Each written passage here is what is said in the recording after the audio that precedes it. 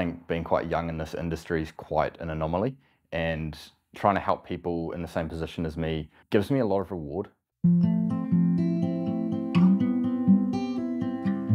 I'm Dane Vickers. I work in the Waikato Mike Pero team, um, and I've been there for just over five years now. I do what I do because I want to see people my own age succeed. I like to demystify the stigma around home ownership and buying at a young age. A story that comes to mind and warms the heart for me is probably one of my first deals I ever did, and that was a soon-to-be young family. They're actually younger than me, and one of them was quite a up-and-coming sports star, but they were expecting a child and they want to buy a place and of course they thought we want a place to raise the family but can we do it when we're losing an income and we made it work and it's just stuck with me a little bit um, and I've, I've spoken to them every year since as well so I keep in touch I kind of feel like I'm part of their journey and I believe they probably see me the same way I feel community is a big thing um, and I've always been part of the hockey community and my family has. They dragged me through it, and now I'm at the point where I can start giving back to them. And I sponsor one of the teams in the Te Awamutu Hockey Club,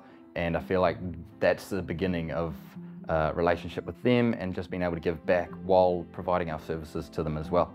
My clients would often use the word ambition or ambitious when describing me or when they leave reviews. They know I'm not leaving any stone unturned and they kind of feel like he's been through all the options we could have had, given us that advice and we didn't have to do any work when he did all the hard lifting. I often use those words and it brings a bit of, bit of pride to me.